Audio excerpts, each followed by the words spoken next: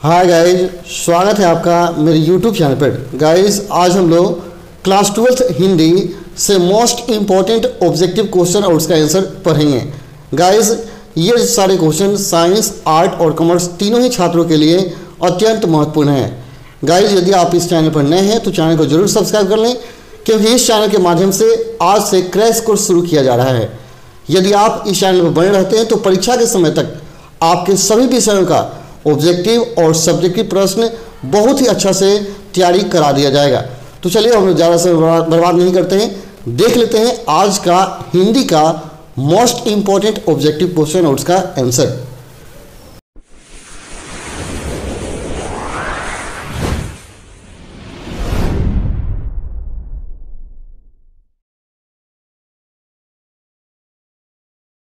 तो सबसे पहला प्रश्न है अर्धनारी स्वर का किस विद्या से संबंध है? यानी अर्धनारी स्वर कौन सा विद्या है? ऑप्शन निबंध, कहानी, एकांकी या व्यंग। तो आपका आंसर होगा ऑप्शन नंबर ए, यह एक निबंध है। अर्धनारी स्वर एक निबंध है। अगला है, रविंद्र का संधि विच्छेद है। रविंद्र का संधि विच्छेद क्या होगा? ऑप्शन है रवि ज़ोर इंद्र, रवि ज़ोर इंद्र, रव ज़ोर इंद्र या रवि ज़ोर इंद्र तो आपका आंसर होगा ऑप्शन नंबर ए, रवि ज़ोर इंद्र, रविंद्र होता है। अगला है, जानने की इच्छा रखने वाले को क्या कहते हैं? जानने की इच्छा रखने वाले को क्या कहते हैं? ऑप्शन है जिज्ञासा, जिज्ञासु, जिज्ञासा या जानकार। तो आपका आंसर होगा, जिज्ञासु कहते हैं जानने की इच्छा रखने वाले को। अगला है, जयशंकर प्रसाद किस वाद से संबंधित रचनाकार हैं? जयशंकर प्रसाद किस वाद से संबंधित रचनाकार हैं? ऑप्शन है छयवाद प्रगतिवाद, प्रयोगवाद या नई कविता? तो आपका आंसर होगा छयवाद से संबंधित रचनाकार हैं। जयशंकर प्रसाद, आप याद रहें चार कवि हैं जो छयवादी हैं। प्रसाद, सबसे पहला नाम आता है प्रसाद, फिर आता है पंत, फिर आता है निराला और वर्मा। ये चार कवि हैं जो छयवादी हैं। प्रसाद का मतलब जयशंकर प्रसाद, पंत का मतलब सुमित्रा पंत और निराला का मतलब सूर्यकांत त्रिपाठी निराला और वर्मा का मतलब महादेवी वर्मा। इन चार कवि का नाम याद रखिए, जो छायावादी थे। प्रसाद, पंत, निराला और वर्मा। अगला है, कवितावली के रचनाकार हैं। कवितावली के रचनाकार कौन है? ऑप्शन है जायसी, तुलसीदास, कबीरदास या सूरदास। तो आपका आंसर हो जाएगा, तुलसीदास कवितावली के रचनाकार हैं। अगला है, जिस पुरुष की स्त्री मर गई हो, उसे क्या कहते हैं? ऑप्शन है स्त्री विहीन पत्नी विहीन विदुर या नारी विहीन तो आपका आंसर हो जाएगा, विदुर बोलते हैं उनको, विदुर। अगला है चिरीमार कौन सा समास है? चिरीमार कौन सा समास है? ऑप्शन है तत्पुरुष कर्मधार्य बहुग्रही या द्वंद्व तो आपका आंसर होगा, तत्पुरुष समास है चिरीमार अगला क्वेश्चन है साहित्य लहरी किनकी रचना है? साहित्य लहरी किनकी रचना है? ऑप्शन है जायसी की, सूरदास की, कबीरदास की या तुलसीदास की? तो आपका आंसर होगा सूरदास की रचना है कवि साहित्य लहरी। अगला क्वेश्चन है, प्रगति और समाज किनकी रचना है? प्रगति और समाज किनकी रचना है? ऑप्शन है बालकृष्ण भट्ट, नामवर सिंह, दिनकर या चंद्रधर शर्मा गुलेरी। तो आपका आंसर होगा option number B Namvar Singh. प्रगति और समाज की रचना नामवर सिंह की है। एक लेख और एक पत्र के लेखक कौन है? एक लेख और एक पत्र के लेखक कौन है? ऑप्शन है मोहन राकेश, भगत सिंह उदय प्रकाश, या आज्ञे तो आपका आंसर हो जाएगा, भगत सिंह एक लेख और एक पत्र के लेखक हैं। अगला है, उसने कहा था, शीर्षक का कहानीकार कौन है? उसने कहा था, शीर्षक का कहानीकार कौन है? ऑप्शन है चंद्रधर शर्मा गुलेरी प्रेमचंद्र मोहन राकेश, यशपाल। तो आपका आंसर हो जाएगा चंद्रधर शर्मा। गुलेरी उसने कहा था कि रचनाकार हैं। अगला है, निम्न से कौन? उसने कहा था, शीर्षक कहानी का नायक है। उसने कहा था, शीर्षक कहानी का नायक कौन है? ऑप्शन है, बजीरा सिंह, लहना सिंह, बोधा सिंह या हजारा सिंह। तो आपका आंसर हो जाएगा ऑप्शन बी, लहना सिंह है, नायक उसने कहा था, शीर्षक कहानी का। अगला क्वेश्चन है, उसने कहा था, किस प्रकार की कहानी है? उसने कहा था किस प्रकार की कहानी है? ऑप्शन है धर्म प्रधान, चरित्र प्रधान, भाव प्रधान, या इनमें से कोई नहीं। तो याद रहे कि उसने कहा था, एक भाव प्रधान कहानी है। एक भाव प्रधान कहानियाँ ऑप्शन इसमें सी आपका सही होगा, ठीक है? अगला है, बालकृष्ण भट्ट ने किस पत्रिका का संपादन किया था? बालकृष्ण भट्ट ने किस पत्रिका का संपादन किया था? ऑप्शन है धर्म, धर्मयुग, समालोचक काशी नगरी प्राचीनी पत्रिका या हिंदी प्रदीप। तो आपका आंसर होगा option number D Hindi Pradeep. Option number D आपका सही है। अगला है, बालकृष्ण भट्ट की रचना बातचीत है। बातचीत क्या है? ऑप्शन ललित निबंध कहानी, एकांकी, यात्रा, संस्मरण। तो आपका आंसर होगा ऑप्शन नंबर ए यह ललित निबंध है। बालकृष्ण भट्ट की रचना बातचीत ललित निबंध है। ऑप्शन ए सही है।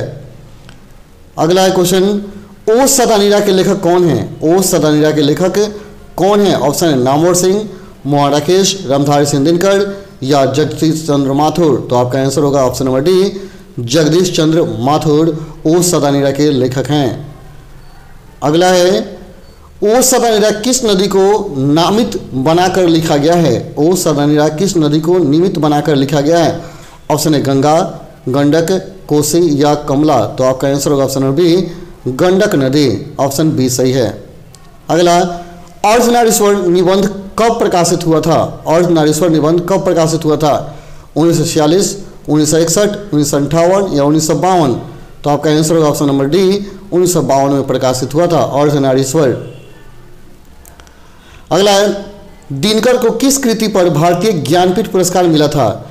दिनकर को किस कृति पर भारतीय ज्ञानपीठ पुरस्कार मिला था? ऑप्शन है कुरुक्षेत्र उर्वशी रश्मिरथी या रेणुका तो आपका आंसर होगा ऑप्शन नंबर बी उर्वशी के लिए ज्ञानपीठ पुरस्कार मिलता दिनकर जी को। आपका ऑप्शन बी सही है। अगला, रोज शीर्षक कहानी के कहानीकार कौन है? रोज शीर्षक कहानी के कहानीकार कौन है? ऑप्शन है प्रेमचंद्र जयशंकर प्रसाद, सचिदानंद हीरानंद, वात्स्यानंद अज्ञे या कोई नहीं? तो आपका आंसर होगा ऑप्शन नंबर सी अज्ञे हैं रोज शीर्षक कहानी के कहानीकार। अगला क्वेश्चन है, भगत सिंह ने कैसी मृत्यु को सुंदर कहा है? भगत सिंह ने कैसी मृत्यु को सुंदर कहा है? ऑप्शन है, अपराध के बदल दी गई फांसी। देश सेवा के बदले दी गई फांसी। दुर्घटना में हुई मृत्यु, इनमें से सभी। तो आपका आंसर ऑप्शन बी देश सेवा के बदले दी गई फांसी, सबसे सुंदर मृत्यु कहा गया है भगत सिंह के द्वारा। अगला, सिपाही की माँ शीर्षक एकांकी का सबसे सशक्त पात्र कौन है? सिपाही की सिपाही की माँ शीर्षक कहानी का सबसे सशक्त पात्र कौन है? यहाँ पात्र होगा सर। पात्र कौन है? ऑप्शन है विष्णु, मानक, मुनि, या इनमें से कोई नहीं। तो आपका आंसर ऑप्शन नंबर विष्णु सशक्त पात्र है। अगला है, विष्णु और मुनि को किसी प्रतीक्षा है? तो आपका आंसर होगा मानक को चिट्ठी की। मानक के चिट्ठी, यहाँ मानक के चिट्ठी होगा। मानक के चिट्ठी की प्रतीक्षा है। ठीक है? तो ऑप्शन देख लेंगे, उसमें मिला मानक के चिट्ठी होगा मानक के चिट्ठी की प्रतीक्षा है। ठीक है? अगला, नामवर सिंह के गुरु कौन थे? नामवर सिंह के गुरु कौन थे? ऑप्शन हरियाली प्रसाद द्विवेदी, रामचंद्र शुक्ल, राम वृक्ष बेनीपुरी, इनमें से कोई नहीं। तो आपका answer option number A Hazari Prasad Dwivedi, Namvar Singh के गुरु थे। अगला है नामवर सिंह ने किस पत्रिका के संपादक रहे हैं? नामवर सिंह किस पत्रिका के संपादक रहे हैं? ऑप्शन धर्मयुग साड़िका आलोचना, इनमें से कोई नहीं। तो आपका आंसर होगा ऑप्शन नंबर सी, आलोचना के संपादक रहे हैं। अगला है, जुठन किन की आत्मकथा है? जुठन किन की आत्मकथा है? ऑप्शन है मोहन राकेश ओम प्रकाश वाल्मीकि मल्यज या उदय प्रकाश तो आपका आंसर हो जाएगा ओम प्रकाश वाल्मीकि। जुठन ओम प्रकाश वाल्मीकि की रचना है। अगला है, जूठन के हेडमास्टर का नाम क्या है? जूठन के हेडमास्टर का नाम क्या है? ऑप्शन है, कालीराम, काशीराम, सुखदेव या ब्रह्मादेव। तो आपका आंसर होगा option number A option number A आपका आंसर हो जाएगा, कलीराम। ऑप्शन ए सही है, जूठन के हेडमास्टर का नाम कलीराम है। ठीक है? अगला है हँसते हुए मेरा अकेलापन के लेखक कौन है? हँसते हुए मेरा अकेलापन के लेखक कौन है? ऑप्शन है मल्यज भगत सिंह ओम प्रकाश वाल्मीकि या मोहन राकेश। तो आपका आंसर हो जाएगा मल्यज हँसते हुए मेरा अकेलापन के लेखक मल्यज ये हैं। अगला है तिरिच शीर्षक कहानी के कहानीकार कौन है? तिरिच शीर्षक कहानी के कहानीकार कौन है? ऑप्शन है सचिदानंद हिरानंद, वात्स्यानंद अगे चंद्रहर शर्मा गुलेरी उदय प्रकाश या प्रेमचंद्र। तो आपका आंसर हो जाएगा ऑप्शन नंबर सी उदय प्रकाश हैं, तिरिच शीर्षक कहानी के कहानीकार।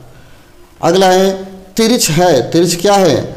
ऑप्शन है, एक उपयोगी जंतु, एक विषहीन जंतु, एक विषैला और भयानक जंतु। इनमें से कोई नहीं। तो आपका आंसर हो जाएगा, एक विषैला और एक भयानक जंतु है, तिरिच। अगला है, तुलसीदास कैसे कवि हैं? तुलसीदास कैसे कवि थे? ऑप्शन है समय, समयवादी, समन्वयवादी, पृथकतावादी छायावादी रहस्यवादी। तो आपका आंसर हो जाएगा, समन्वयवादी हैं तुलसीदास कवि। ऑप्शन ये सही है। अगला, कब हुक अब अवसर पाई? कब हुक अब अवसर पाई? यहाँ अब संबोधन किसके लिए है? ऑप्शन राम, लक्ष्मण, सीता या रावण। आंसर होगा सीता के लिए अब का प्रयोग किया गया है। अगला है, भक्तमाल किसकी रचना है? भक्तमाल किसकी रचना है? ऑप्शन नाभादास, सूरदास, तुलसीदास या कबीरदास। तो आपका आंसर होगा ऑप्शन नंबर ए, नाभादास की रचना है भक्तमाल। अगला है, भूषण किस काल के कवि हैं? भूषण किस काल के कवि हैं? ऑप्शन है आदिकाल, भक्तिकाल, आधुनिक काल या रीतिकाल तो आपका आंसर ऑप्शन नंबर डी ये रीतिकाल के कवि हैं ऑप्शन डी सही है। अगला क्वेश्चन है, सुघनी साहू परिवार किसने किससे, किनसे संबंध था? सुघनी साहू परिवार का किनसे संबंध था? ऑप्शन निराला से, महादेवी से, दिनकर से, या जयशंकर प्रसाद से? तो आंसर होगा जयशंकर प्रसाद से संबंध है, सुघनी साहू परिवार का। अगला है, यूरोप के लोगों में बात करने का हुनर है, यह किसने कहा था? यहाँ यूरोप होगा सर। देख लीजिए, यूरोप। यूरोप के लोगों में बात करने का हुनर है, यह किसने कहा था? ऑप्शन है जे कृष्णमूर्ति, ओम प्रकाश वाल्मीकि, या नामोर सिंह, या बालकृष्ण भट्ट। तो आपका answer option D, Balkrishna Bhatt. इसको बालकृष्ण भट्ट पढ़ लेंगे। प्रिंटिंग मिस्टेक है, बालकृष्ण भट्ट।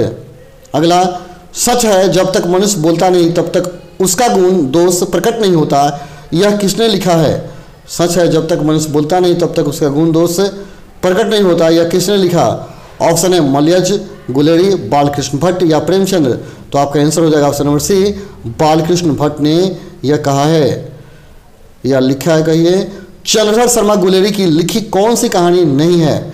इनमें से कौन सा कहानी चंद्रधर शर्मा गुलेरी का नहीं है? ऑप्शन है, उसने कहा था, वृद्ध का कांटा, बुद्ध का कांटा सुख में जीवन या तिरिछ तो आपका आंसर हो तिरिछ चंद्रशेखर शर्मा का लिखा हुआ नहीं है। अगला है, कौन से रचनाकार बिहार से संबंधित नहीं है? कौन से रचनाकार बिहार से संबंधित नहीं? ऑप्शन है, जगदीश चंद्र माथुर, जयशंकर प्रसाद, रामधारी सिंह दिनकर या शमशेर बहादुर सिंह। तो आपका answer option number D Shamsher Bahadur Singh. ये जो बिहार से संबंधित नहीं है। अगला है, कड़बक में कौन सी बात पाई जाती है। करबक में कौन सी बात पाई जाती है? ऑप्शन प्रेम की महिमा, ईश्वर की महिमा, मनुष्य की महिमा या दानव की महिमा? तो आपका आंसर होगा ऑप्शन नंबर ए प्रेम की महिमा करबक में मानी जाती है।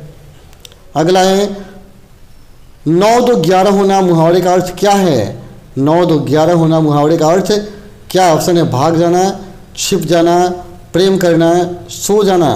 तो आपका आंसर होगा ऑप्शन नंबर ए नौ दो ग्यारह हो जाना अर्थात भाग जाना अगला, नाक का बाल होना मुहावरे का अर्थ है।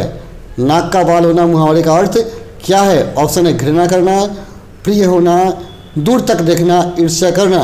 तो आपका आंसर होगा ऑप्शन नंबर बी, प्रिय होना, बाल, नाक का बाल होना अर्थात प्रिय होना। अगला है, जगदीश का संधि विच्छेद क्या होगा?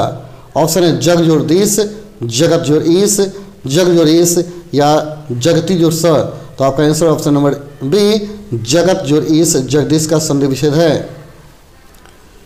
रात का विलोम क्या है? रात का विलोम क्या है? सुबह, दिन, सवेरा या दोपहर? तो आपका आंसर होगा दिन। रात का विलोम दिन होता है। अगला, लोक का विशेषण बताएँ। लोक का विशेषण बताएँ। ऑप्शन है लोकेश, लोकेंद्र, लौकिक या लोकपरक। तो आपका आंसर हो जाएगा लौकिक, लोक का विशेषण लौकिक है। अगला, पुरुष का विलोम क्या है? तो सिंपल है, पुरुष का विलोम क्या स्त्री होता है। वो पुरुष का विलोम स्त्री। यहाँ नारी भी है, महिला भी है और वनिता भी है। लेकिन याद रहे, यहाँ पुरुष का विलोम स्त्री होगा और जो नारी महिला, ये सब क्या है? इसका पारिवर्तित शब्द है। ठीक है? स्त्री का।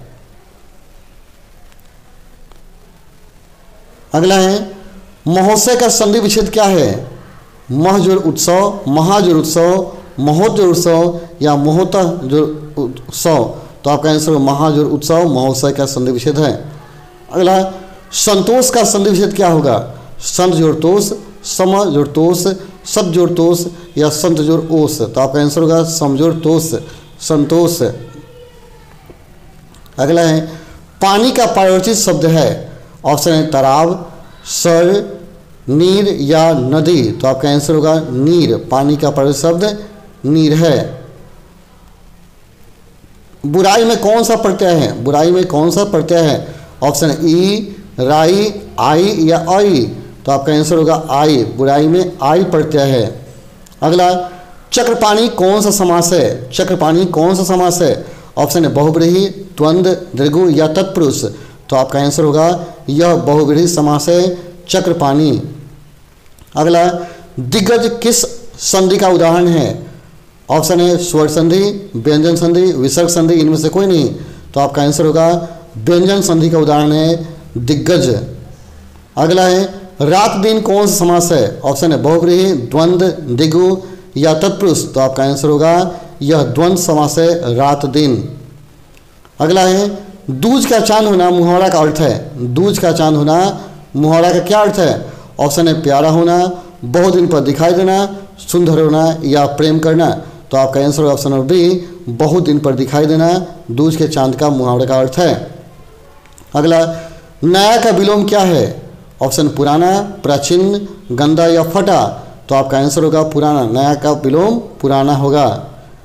अगला है, ग्राम का विशेषण बताइए। ग्राम का विशेषण बताएँ। ऑप्शन है ग्रामीण, ग्रामवासी, गाँव या गवई। तो आपका आंसर होगा ग्रामीण। ग्राम का विशेषण ग्रामीण होता है। अगला, तलीन का संधि विच्छेद है। ऑप्शन है तत् जोड़लीन तत् जोड़लीन तम जोड़लीन या तन जोड़लीन तो आपका आंसर हो तत जोड़लीन ऑप्शन ए सही है आपका। अगला, चंद्रमा का पारिवर्तित शब्द क्या है? चंद्रमा का पारिवर्तित शब्द क्या है? ऑप्शन है चांदनी, राजा, रोहित या शशि। तो आपका आंसर होगा ऑप्शन नंबर डी, चंद्रमा का पारिवर्तित शशि है। अगला, गले मढ़ना मुहावरा का अर्थ क्या है? गले मढ़ना मुहावरा का अर्थ क्या है? ऑप्शन सुंदर लिखना, तारीफ़ करना, आरोप लगाना या पर्याप्त प्रयाप करना। तो आपका आंसर हो जाएगा आरोप लगाना। गले मढ़ना अर्थात आरोप लगाना। ऑप्शन सी सही है आपका। अगला क्वेश्चन है, कनक का अर्थ क्या है? कनक का अर्थ क्या है? ऑप्शन है चांदी, सोना बादल या नदी तो आपका आंसर हो जाएगा ऑप्शन नंबर बी कनक का अर्थ सोना होता है। तो चलिए गाइज़ आज का मोस्ट इम्पोर्टेंट जो ऑब्जेक्टिव हिंदी का जो था, यहीं पे ख़त्म हो जाता है। आप मेरे चैनल में बने हैं, ताकि मैं आपको सारे विषय का मोस्ट इंपॉर्टेंट ऑब्जेक्टिव क्वेश्चन बता सकूँ। तो चलिए आज के लिए इतना ही, फिर मिलते हैं अगले वीडियो में। तब तक के लिए धन्यवाद। जय हिंद, जय भारत।